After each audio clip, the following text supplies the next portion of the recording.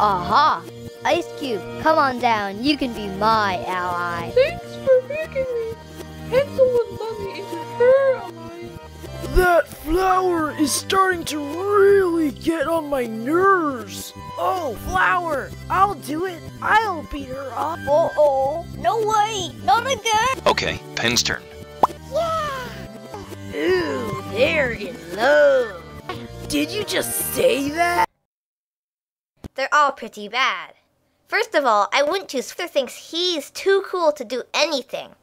Blocky, no way. He's got issues.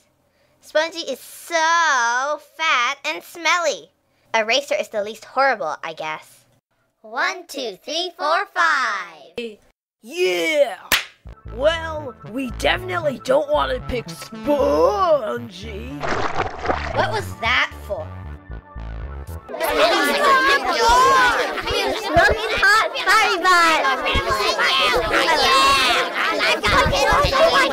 These are our oars.